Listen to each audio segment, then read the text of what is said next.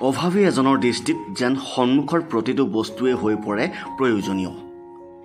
তাতে যদি অভাৱে কোঙা কৰা লোকজনৰ মাজত সৃষ্টিশীলতা সোমাই থাকে তেন্তে কোনো বস্তুৱেই হ'ব নোৱাৰে অপ্ৰয়োজনীয়।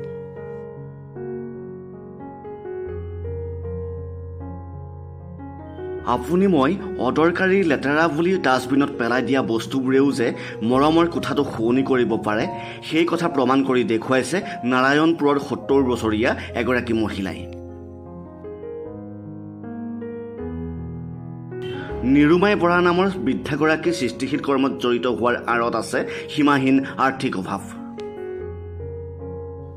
আৰ্থিকভাৱে জুৰুলা পৰিয়াল এটাৰ সদস্য স্বামীহাৰা নিৰুমাই বৰা বিপদত পৰি খেৰিকোটাকো সাৱটি লোৱাৰ দৰে ভিন্ন স্থানৰ পেলনীয়া সামগ্ৰীৰ ওপৰত চকু পৰিল।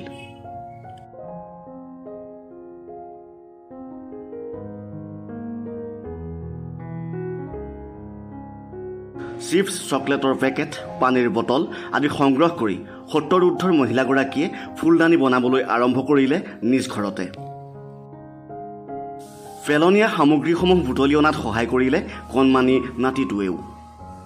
সেই সামগ্ৰীসমূহ সূক্ষ্ম দৃষ্টিৰে শিল্পীসুলভভাৱে কাটি তৈয়াৰ কৰিবলৈ ল'লে সৰু বৰ ফুলদানি।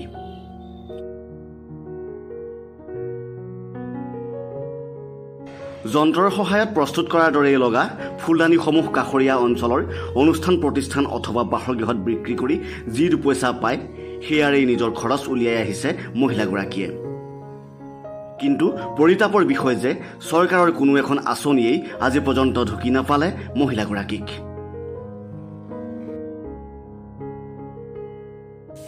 চাণক্য বৰুৱাৰ প্ৰতিবেদন লোকেল এইটিন